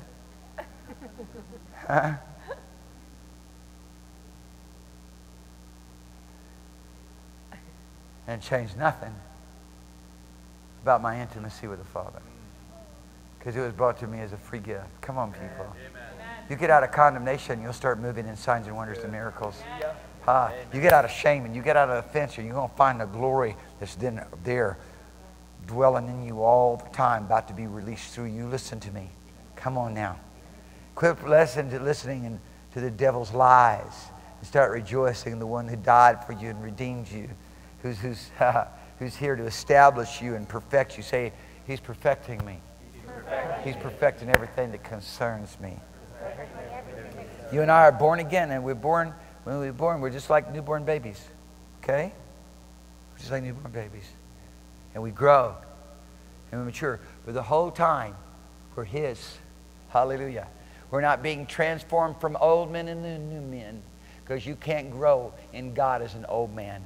You're not being somehow taught to be walking His Holy Spirit with an unholy spirit because there's no way that there's ever any agreement or ability to receive anything from Him. He's made you a new creation. He's made you a new man. He's giving you His Holy Ghost. Hallelujah. He's given His He's given you His provision of life. Hallelujah. So He can teach you and instruct you. Come on, man. Let's get on with the program. Let's quit being indecisive. Let's understand that there is a place where we can live to no longer be tossed to and fro by every trick and every deceit that comes at us from the realms of men and the realms of darkness. Everybody stand with me. Hallelujah. Hallelujah. Hallelujah. Praise the name of Jesus. Hallelujah. Praise the name of Jesus. Praise the name of Jesus. Lift your hands towards heaven.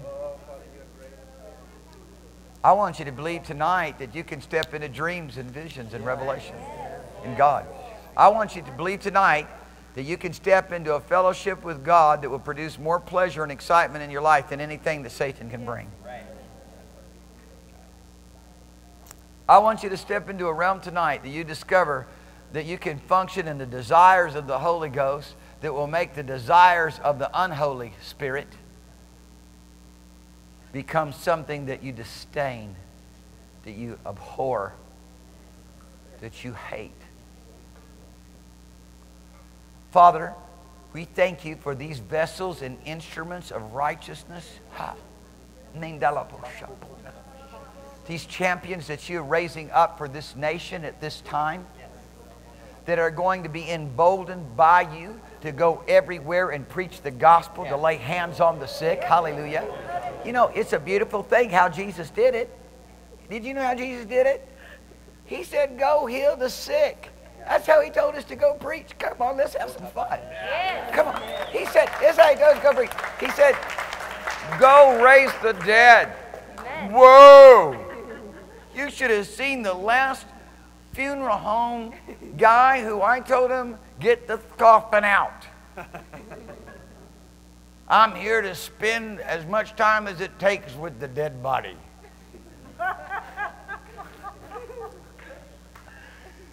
He said, Well, I heard you're only coming for an hour. Well, if it only takes an hour. said, But if it takes all day, I'm here all day, get the body out. He's looking at me like I've got some serious issues.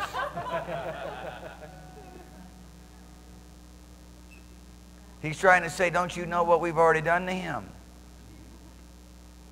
But he's holding it back.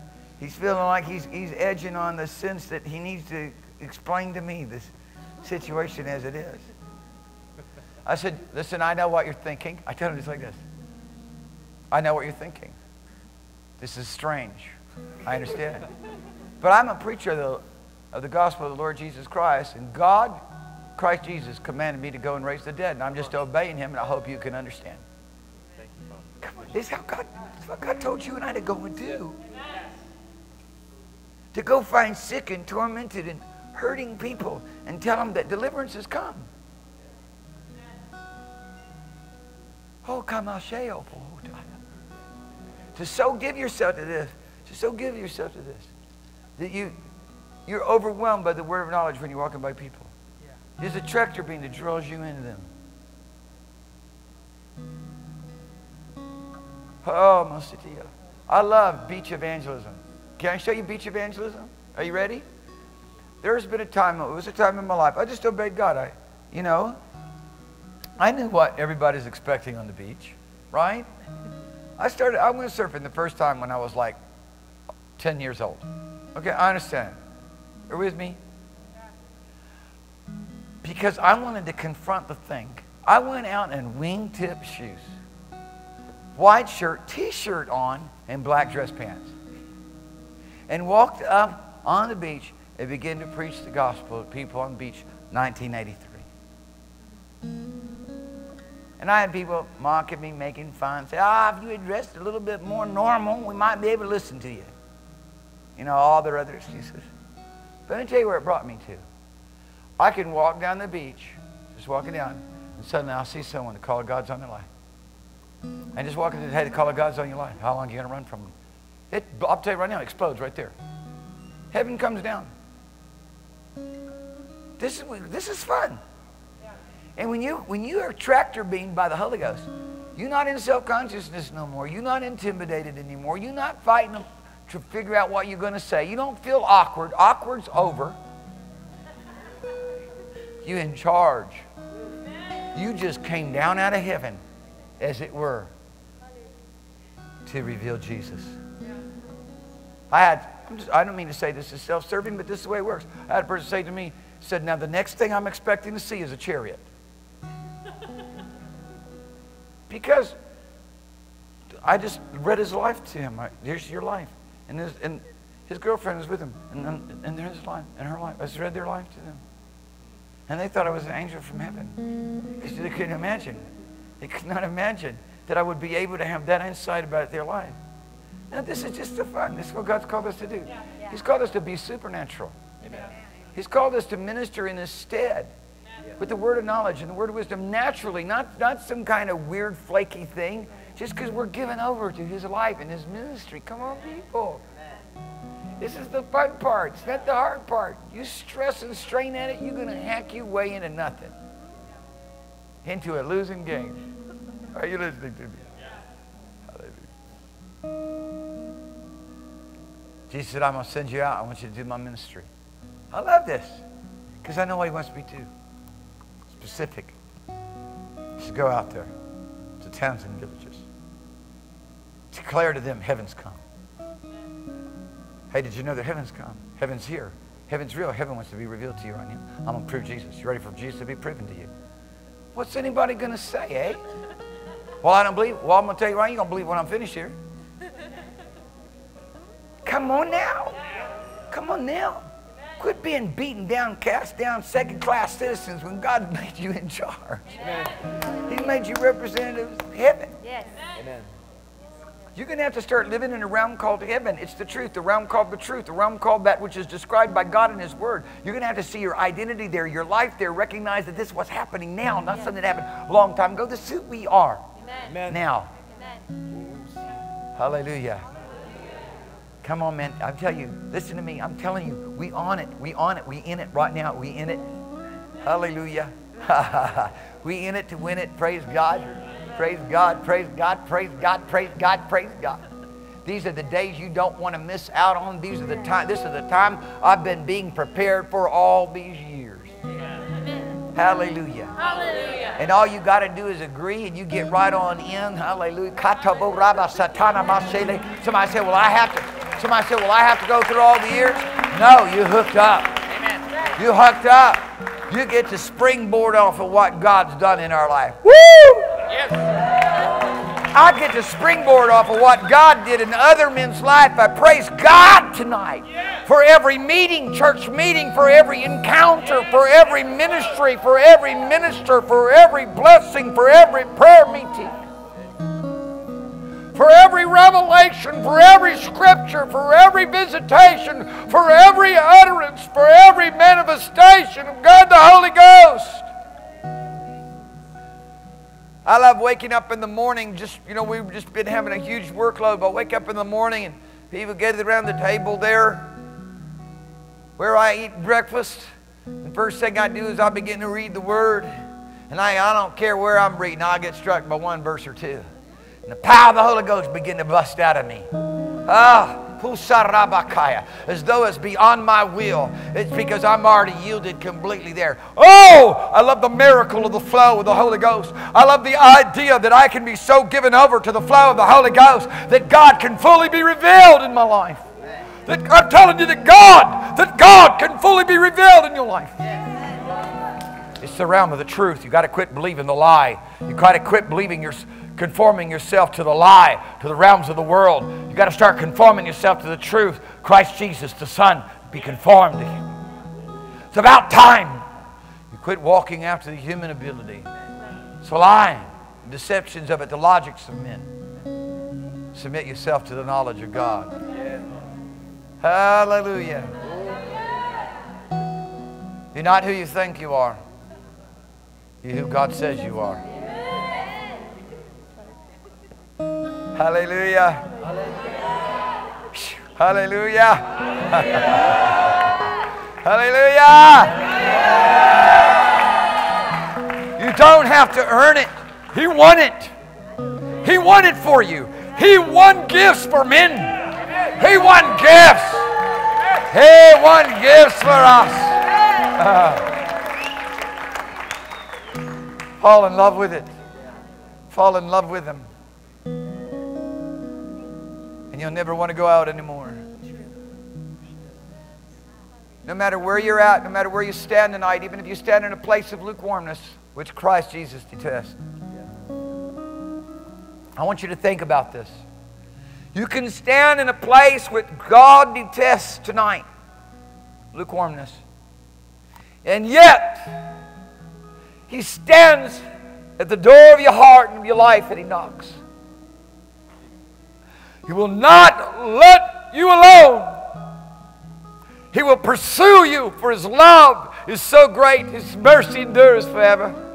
God is good, and His mercy endures forever, will defeat all your foes, all your enemies, all those that oppose you, all things that lift itself up against you, all those things that says you cannot be who God says you are. Just delighting in that this one thing that God is good and His loving kindness endures forever. And it's not His loving kindness just for everybody else. It's His loving kindness for you.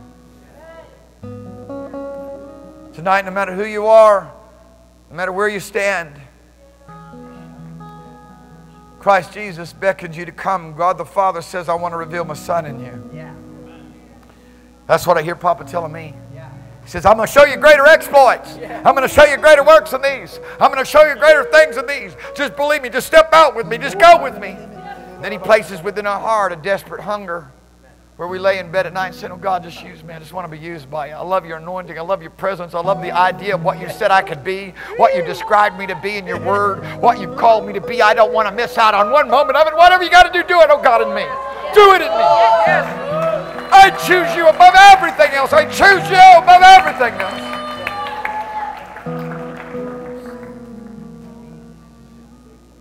The sad reality of it is, today I had someone stand in front of me and said, Listen, we just love this. This is amazing. I have a whole line of people that I want to bring in and fill the front row with. Says, but I don't believe they could stand five minutes of listening to you.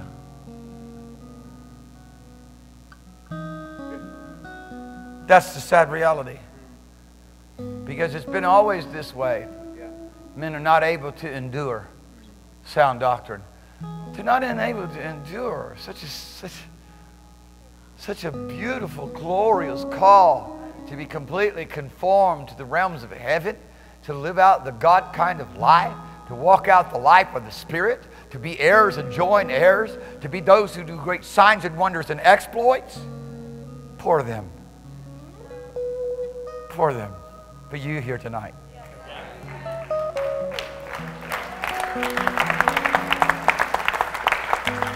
And God makes it a choice. He makes it our choice, not His choice. He's already chosen. He makes it our choice. He says, You put on the Lord Jesus Christ. He makes it our choice. Hallelujah. How do I put on? I embrace the truth. Yeah. I believe him. I say, He's in me and I'm in Him.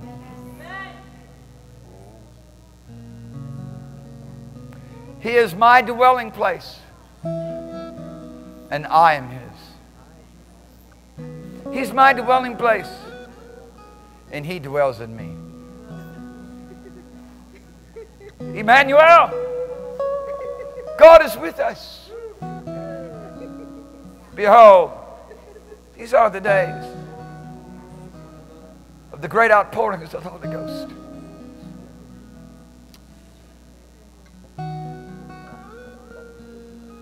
Thank you, Jesus. Thank you, Jesus. Take my life and let it be consecrated, Lord, to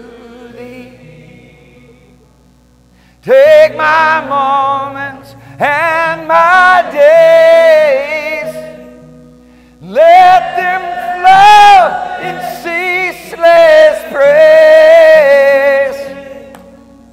Oh, let them flow in ceaseless praise. Take my will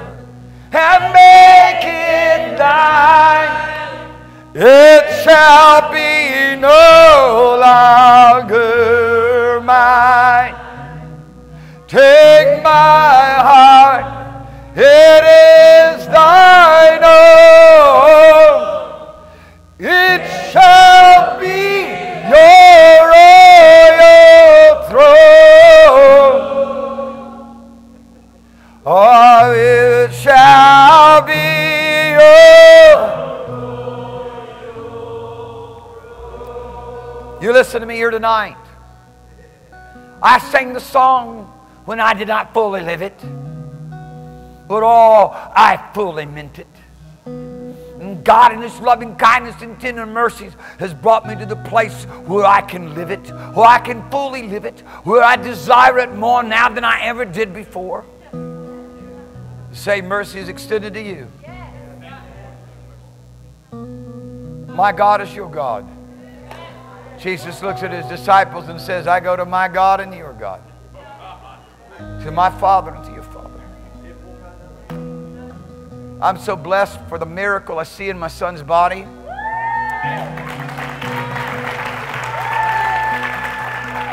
I showed up. I showed up last week, and I looked at my. I looked at Daniel because he had been gone through a season of having to deal with a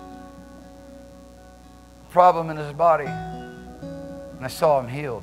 I'm like, whoa! Praise God, Hallelujah. Daniel was, Daniel was telling me the other day, he was just in the meeting and said, Lord, I want to know you. Lord, I want to know you. And I heard the Spirit of the Lord say, I want to know you. Oh, a, a greater intimacy. Not that he's not known of God, but in that context, to know you more, to have greater intimacy with you, to find my perfect will revealed to your life. Don't let the lie, don't let the lie separate you.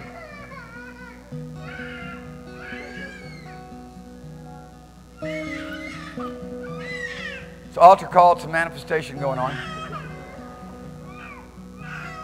It happens every altar call. Some manifestation takes place. She's hot. She's burning up. Come and give her to me. What's going on? What's going on over here? You stripped down naked? You're interrupting the whole altar call. You're interrupting the whole altar call. It's a good thing you can't make a difference. God's bigger than a crying baby, a screaming devil, and a lying spirit. Amen. God's bigger than any interruption. It could come down.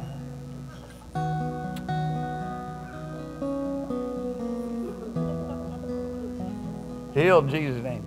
Hallelujah. I love you, baby. Thank you, Lord Jesus. Hallelujah. Praise God. We don't want nobody to feel left out. Did you know that's the way Father feels? Hey, there's lots and lots of room in Papa's arms. Come on, man. Come on, man. Come on, get step on inside. We're on our way to a good destination. Hallelujah. Christ Jesus is driving and the Holy Ghost is comforting and encouraging us. We might be saying, Are we there yet? Feeling a little tired, a little weary. Oh, no, no, no, no. You on your way. You on your way. Hallelujah. Thank you, Jesus. I just thank the Lord for the signs and wonders and miracles that God's preparing to do through Anna. Hallelujah. Hallelujah. A little one who's not supposed to be in this world. According to all the things that men say. Miss, please just Papa for a minute. Okay? We love you very much. Okay. Say, take my will and make it thine. It shall be no longer mine. Hallelujah.